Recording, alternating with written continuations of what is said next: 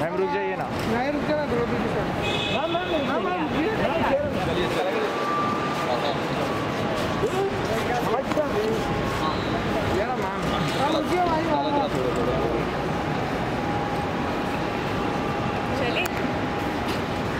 क्या रहा मैम यहाँ पे? मैम, यहाँ पे मैम मैम मैम ये रहा मैम।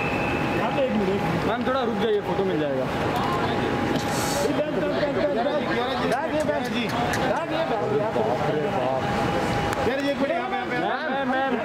रुक जाइए मैम जी इधर जी ओके बाय बाय